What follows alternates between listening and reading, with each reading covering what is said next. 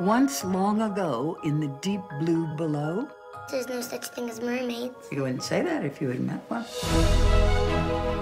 This just came in.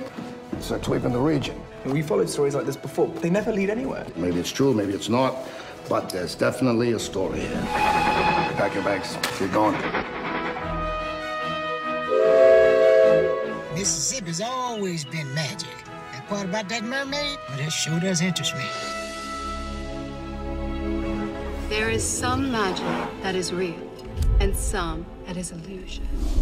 So let me introduce you to your dream. The Little Mermaid of the Mississippi.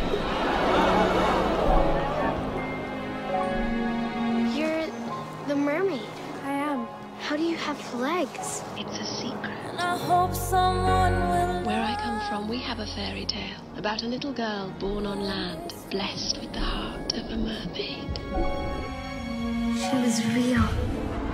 I was tricked. He took a part of me and he has it still. There's no power greater than mine. She can't leave without her soul. If she does, she dies. Stay away from her. She doesn't belong to you. I won't let you have her.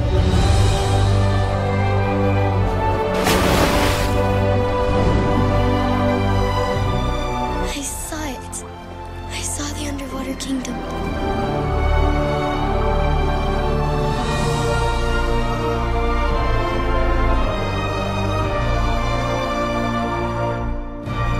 I believe. He said I had the heart of a mermaid. You do.